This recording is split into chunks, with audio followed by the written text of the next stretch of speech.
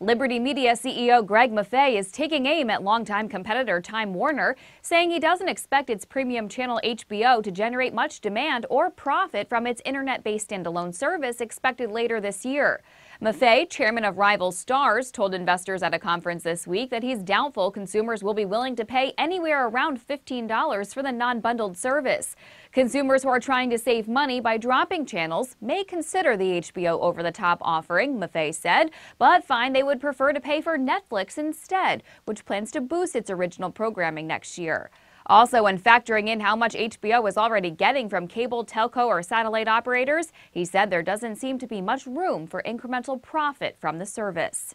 Maffei claims Starz is better positioned as there is opportunity for it to bypass an internet service and instead offer a different product in conjunction with its cable, telco, and satellite partners.